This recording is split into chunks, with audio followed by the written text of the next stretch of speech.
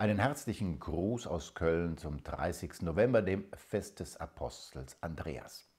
Was wissen wir von ihm? Er war Jünger des Johannes und er hat Jesus kennengelernt und hat seinen Bruder Simon, der später Petrus genannt wurde, zu Jesus gebracht.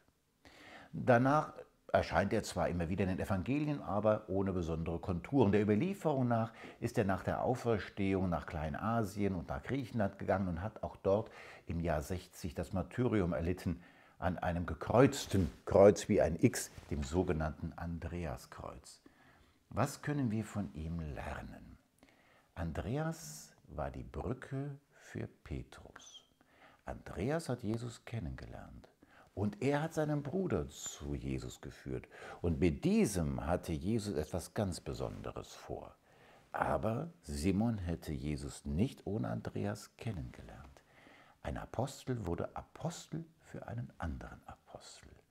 Manchmal ist das doch bei uns auch so. Wenn ich auf meinen Glauben schaue und meine Berufung, die ist nicht vom Himmel gefallen. Die verdanke ich auch meinen Eltern und meinen Brüdern, die mir geholfen haben, die Brücke zu Gott zu finden. Denken Sie nicht zu gering von Ihrem Leben. Ihr Zeugnis kann die Brücke für andere sein, mit denen Gott dann noch viel Größeres tut.